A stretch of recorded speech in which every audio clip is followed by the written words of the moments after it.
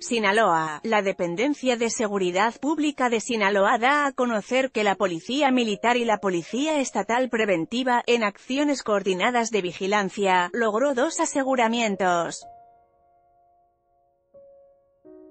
A las 4 horas de este sábado 16 de junio, agentes circulaban por un camino de terracería que conduce a la presa Los Cascabeles, a la altura del ejido San Rafael, Sindicatura de Costa Rica, municipio de Culiacán. Durante el recorrido, encontraron una unidad motriz en estado de abandono, por tal motivo, iniciaron con la inspección correspondiente. Se trata de una motocicleta marca itálica de color negro, modelo 2013 que resultó tener reporte de robo, por lo que fue asegurada.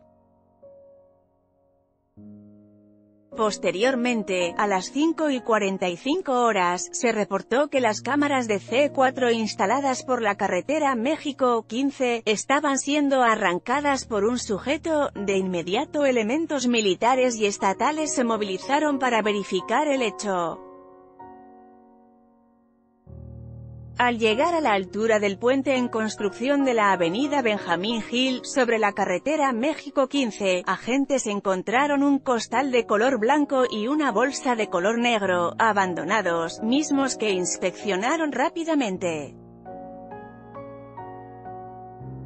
En el interior se encontraron seis cámaras de videovigilancia de color blanco, forma rectangular, con la leyenda, Beacon, así como una cámara de videovigilancia de color blanco, forma circular y giratoria. Tanto la motocicleta como las cámaras fueron puestas a disposición de la autoridad competente. En ninguno de los dos hechos hubo detenidos. En esta nota, Culiacán dos aseguramientos los cascabeles.